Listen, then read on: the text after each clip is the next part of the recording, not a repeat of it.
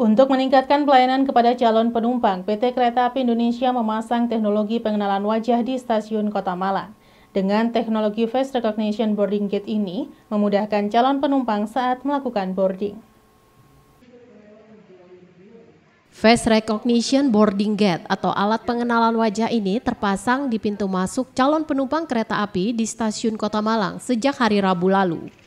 Dengan alat ini, calon penumpang yang sudah memiliki tiket tidak perlu lagi menunjukkan berbagai dokumen seperti tiket, KTP, atau bukti vaksin.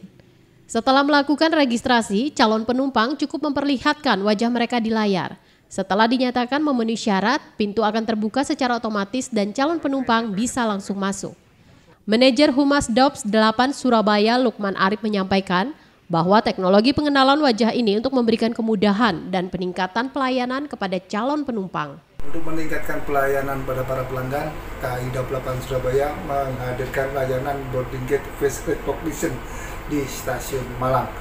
Dengan layanan ini, penumpang yang akan melakukan check-in di stasiun Malang tidak perlu lagi repot-repot mengeluarkan dokumen identitas diri ataupun bukti vaksin, cukup menampilkan wajahnya di kamera alat face recognition tersebut dan gate akan terbuka bila penumpang tersebut sudah memenuhi syarat untuk melakukan perjalanan dengan kereta api jarak jauh.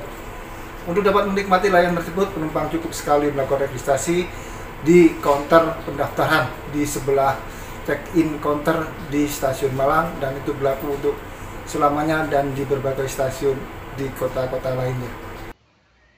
Sementara itu, Putri salah satu calon penumpang kereta api jarak jauh mengaku Aplikasi yang baru pertama ia coba ini cukup membantu dan prosesnya cepat.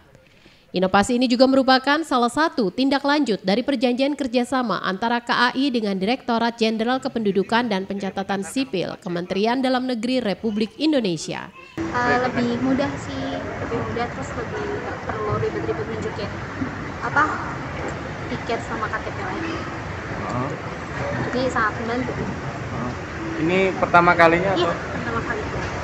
Ini mau ke mana mbaknya? Mau ke Jakarta.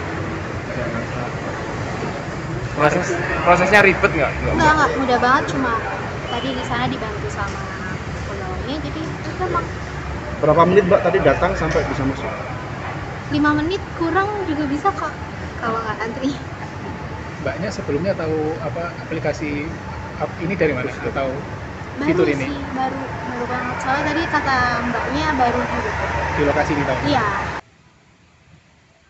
Simon Alfredo melaporkan.